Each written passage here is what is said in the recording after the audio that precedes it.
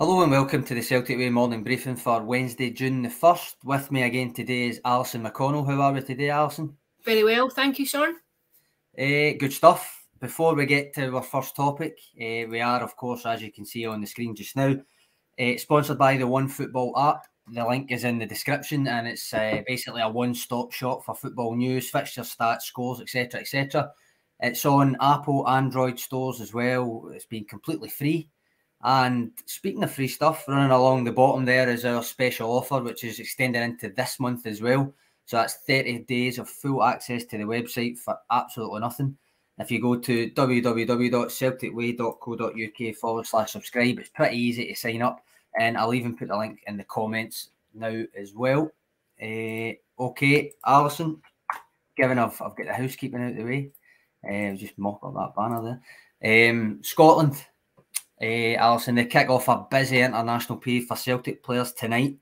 Uh, four involved uh, in what could end up being a five-game stretch if they beat Ukraine tonight. I was just saying that to you before before we come on there. It will be Wales and Cardiff on Saturday if they beat Ukraine tonight, um, followed by Armenia on June the 8th, Ireland on the 11th, and then away to the Armenians on the 14th. Now, you'd imagine Callum McGregor, similar to what we've been talking about there, uh, the last few days, will play the vast majority of minutes in those games. Um, but what about the rest? Do you see Greg Taylor, David Turnbull, or Anthony Ralston getting much game time? In a word, uh, no. uh, I don't think. I think they may get some game time, but I don't think they'll be starters. I don't think any of the trio that you mentioned there will start. Um, I think uh, I think there's probably a case maybe for for Ralston and, and maybe one of the games, one of the the Nations League games. But mm. uh, yeah, I, I, think Steve. I think you could pick tonight's squad certainly. Uh, just knowing Steve Clarke, knowing how Scotland line up, knowing how they play, and I think Callum McGregor will clock up significant minutes again over the next the next fortnight.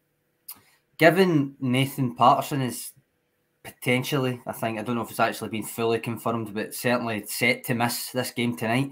Is it then a straight choice between Ralston and Stephen O'Donnell for you? Or, I mean, Aaron Hickey's floating about in there too now, having featured at, at right wing back for Bologna recently. Yeah, I think Hickey might just be ahead of Ralston in the, the pecking order there. Um, I, I, I don't think Anthony Ralston could do much more in terms of his own season. I think um, he offered a fairly compelling account of his abilities this time a year ago. I don't think anyone connected with Celtic would have expected the impact he made on this campaign. But again, you would probably have to say that if everyone is fully fit at Celtic, he's not a shoe in to start games. Hmm. Um, I think Stephen O'Donnell has his shirt for Steve Clarke. Whatever your thoughts on it, I think that's just. I think that tends to be who his favoured starting right back is. I don't see it deviating this evening. Uh, it may change given the, the volume of games that could be played over the next couple of days, but um, yeah, I think Stephen O'Donnell will start tonight, certainly. I think he'll go for O'Donnell, yeah. Um, to be honest, the real problem for Scotland tonight for me isn't so much about whether to play a current Celtic fullback, fullback but not being able to play a former one in Kieran Tierney. I think that's the biggest issue. I think that, that the inclusion of Tierney at left centre back is, is basically the reason that they play that system to begin with. But it also gives you a, an option that no other player in that squad can currently can currently replicate. I think that's probably the, the real position uh, that, that, that will be an issue tonight and going forward. But I mean, David David Bradley's comment there about about Ralston, just a, a boy looking for his moment. Uh, he obviously did get the cap, um, the Denmark game on it, the left wing back, funnily enough.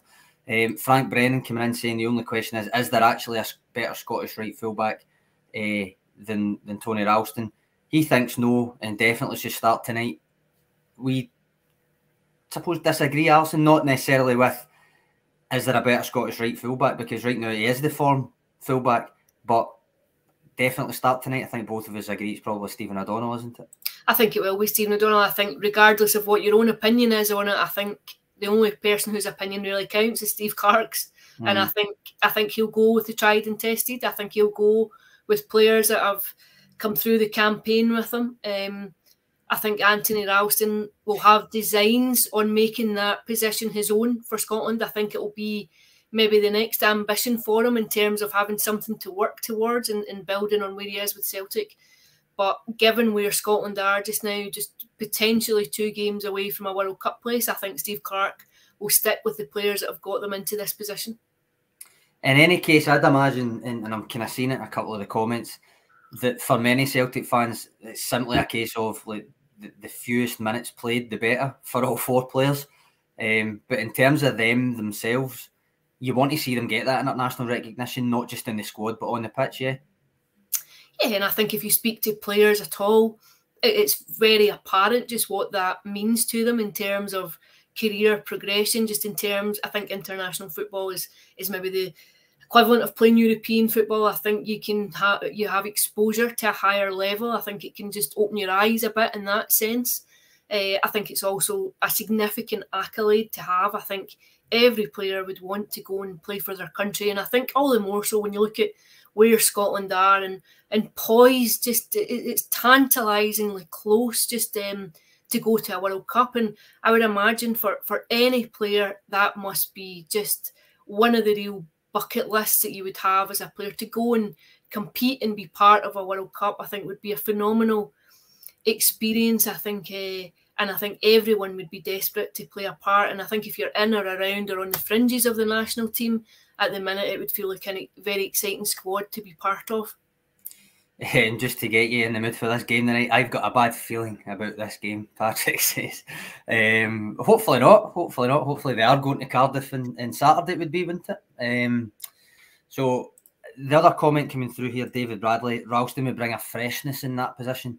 Now, I agree. I actually do think there's there's something to be said for for including them. I don't think Clarke will do it. That's that's the basis of my point. Not that Ralston doesn't deserve to get the nod, just that I don't think he will. And it was a similar feeling that I had at the last international break when he had been playing for Celtic. He's been playing all season for Celtic. I realise, I get what you're saying. He's when when everyone's fit, he's not going to be the one that gets. Yeah, Juranovic. Right back. Juranovic will get it, but nonetheless, he has been playing. Um, some would argue I may, may have made the point that in the last squad that you don't actually have to be playing to get selected in a Steve Clarke Scotland squad, but nonetheless, Ralston has been playing. And I do agree with, with David Bradley that he would bring a freshness. All I'm saying is I don't expect him to actually get the nod. That's all. And I think that, that's exactly what you're saying as well, Alison. That is exactly what I'm saying. I, I think um, I think there is an argument for Ralston. I would absolutely accept it.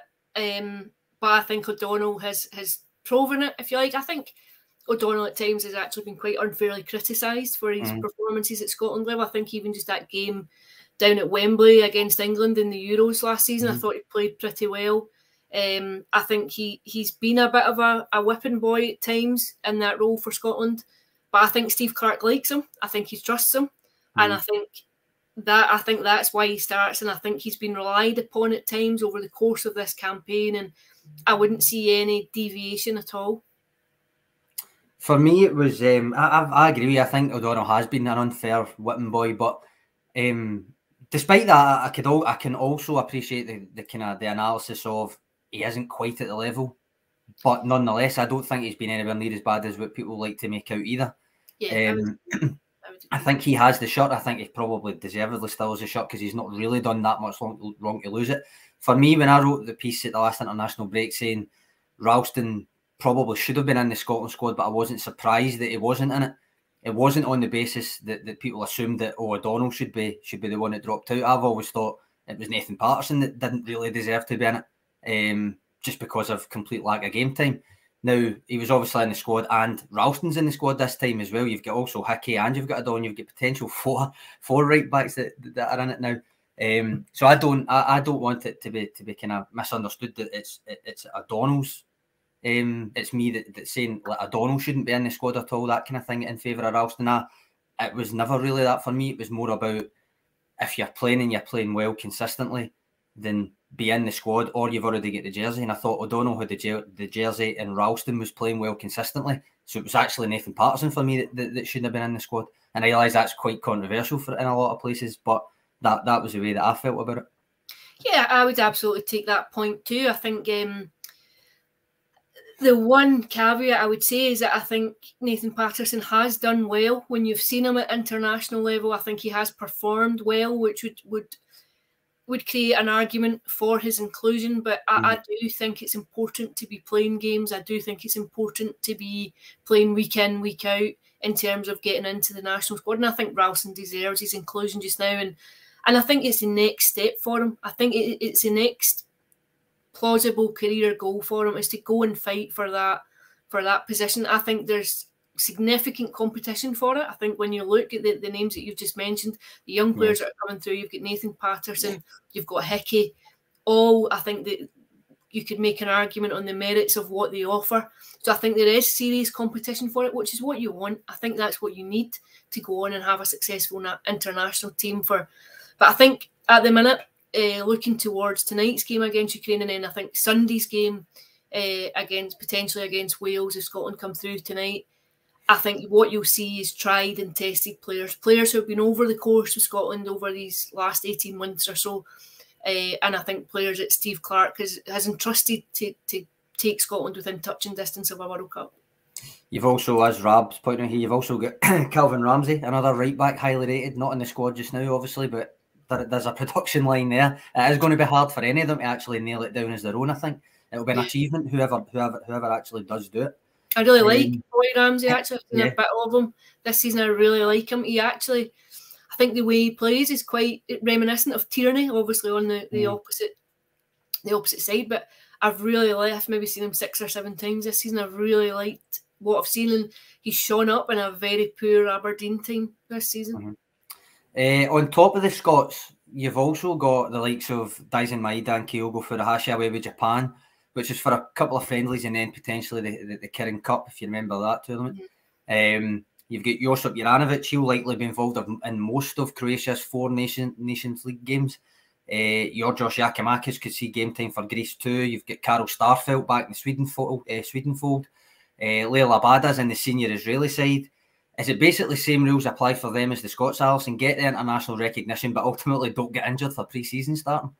Absolutely, I think Listen, I think it's it's a balancing act all the time when players are away in international duty. I think from the perspective of, of, a manager, I think you want them to go. I think you want them to have that exposure to international football. I think also it's probably good to have a break um, from from club football, a break from your normal routine. I think it could probably, in some ways, work for you in terms of freshening you up. Just to a, a bit of time with your, um, you know, with, with your fellow countrymen and, and going home and maybe an opportunity to see family and see friends. I think mm-hmm. there's there's maybe possibilities. There's there's all sorts of benefits that come with it, and I think managers would appreciate it. And I think too, from a player's perspective, it's a very significant accolade to be invited in to represent your country. I think everyone would want to be there. Um, but the the only qualification is that you are definitely there is a concern about players going and coming back injured. And I think earlier in the season, Furuhashi went away with Japan and, and picked up a knock, and yeah. it, it, seemed to stall him when he came back. It took a while then to get fit. I think it, for all managers, I think that's the price that you pay. But ultimately, I think you would always want your your players to be in that position of going and representing their country. And I think it's just a factor. If you play at a top club, that's what you get. And I think it's the, the amount of players that you have in international duty is probably reflective of the quality that you have within your squad. Well, was 13, I, I, technically 13. I didn't, deliberately didn't mention uh, and Carter Vickers, who's obviously in the USA fold again uh, among the Celtic contingent away, largely for fear of jinxing things, um, I suppose, but he's away as well. And not forgetting that there's youth internationals as well. So Stephen Welsh is away with Scotland under 21s and Matt O'Riley with Denmark under 21s. Um, I mean, this all ties into, and this is maybe a, quite a negative point to go on after listening all that, but because it is a, it is an honour. But this all ties into the kind of thing we've discussed in the past couple of days in terms of workload and that inability for a lot of players to get a proper break. Now, after these, pardon me, after these international fixtures are done, it's not actually that long before it's pre-season training. It's Austria for Celtic and friendlies that FIFPro four week block that, that we spoke about, or block of rest, it just seems more unlikely every passing season to me when you actually look at it and add it all up. Yeah, I think uh, I would agree. I think what you're moving towards really is a 12 month cycle of football. There, there's mm. very little downtime in it. I think it's why sports science is so important. I think it has such a significant role to play. I think more than at any other time in, in football's history, players need to be athletes to cope with the physical and demands that come with a very elongated campaign now. I think what you see is there is very genuine breaks within the season and very few at the end of the season when you when you look at the calendar and you look at the blocks of games. I think it's important to try and factor in recovery time. I think it's important to try and take breaks where and when they can. And you would like to think that the players have all been in international duty will be given an extended mm-hmm. break before going back. And I think this is the one season where Celtic could afford to do that because of obviously they don't have the the Champions League qualifiers coming very very early on. I think sometimes you've seen those games coming, you know, almost 10th, 11th of July, first competitive game of the season underpins the tone of the campaign. I think um, I think the fact that they don't have them might allow them to offer an extra week or, or so or an extra 10 days. And I think it's important if that opportunity is there that the players are given it. Retro Celtic echoing that there. It's great they don't have European qualifiers because it'll be a nightmare during the World Cup. That's something you've mentioned a few times. You actually wrote a column on it for the website as well. The the sheer intensity once it starts next year, it's it is all the way through until the World Cup and then back on the, the horse again after it. Um, and you've got to remember we're talking about an international break here, well, an international uh, fixture list. That's going to be the case at the World Cup. It's not like it's a break. Most of the Celtic squad will hopefully for them, hopefully, be going to the World Cup. Um, even if they're not, they'll probably be international friendlies for warm ups for the teams that are going and stuff. You'll probably find we're in this position again where it's maybe even more than 13 players that are, that are breaking for the World Cup or going on international duty again. So it's not even a break from that intense fixture list, if you know what I mean. Yeah, I think it's there's no respite this season. I think it's an incredibly intense run until you get to the World Cup, and then even the latter half of the season is fairly congested.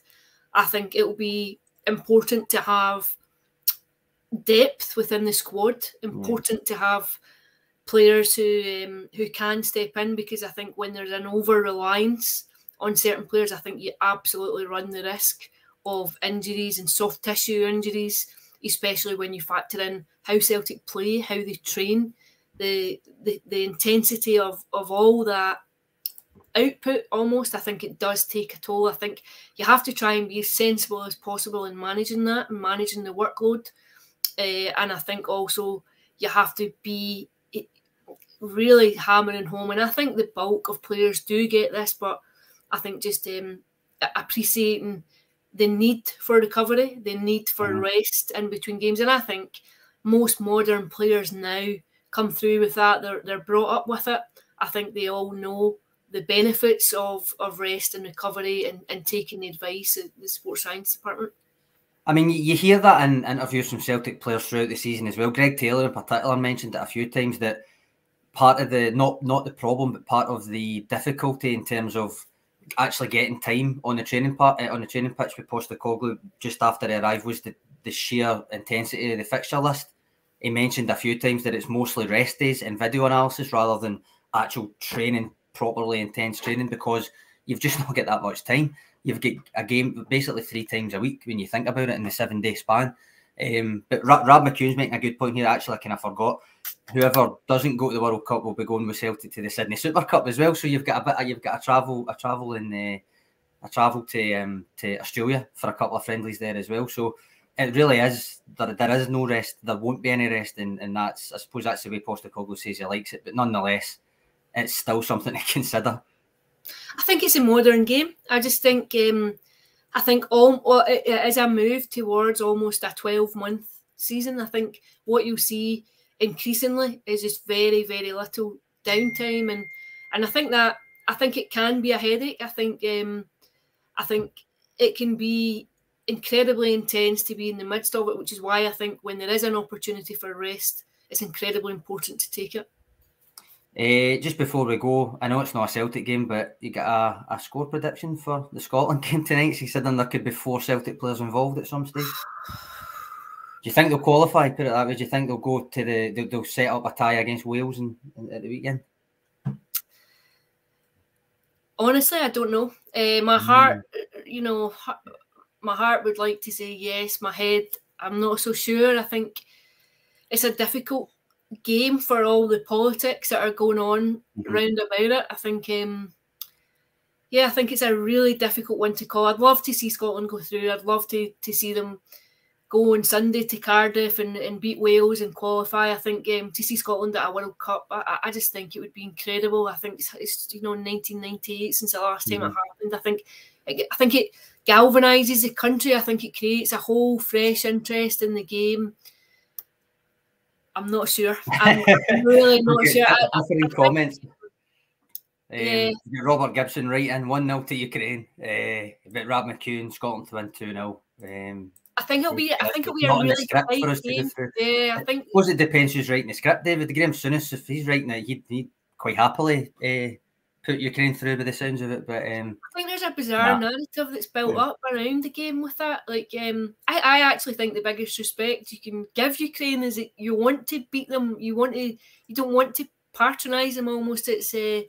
You know, it's a it's a game of football. It's a competition. It's a competitive sport, and I think um, you know, I, it doesn't uh, detract from the sympathies that you have around what they've gone through and what their country is enduring at the minute to still say that you want to go and and, mm-hmm. and beat them i think both can be both can coexist um, but i think it is a difficult game even even without everything that's going on i think it's a very difficult game i mean they've, they've got a strong squad when you look at where their players play mm-hmm. and yeah. um, i think it'll be a really difficult night for Scotland. I'll say Scotland two one.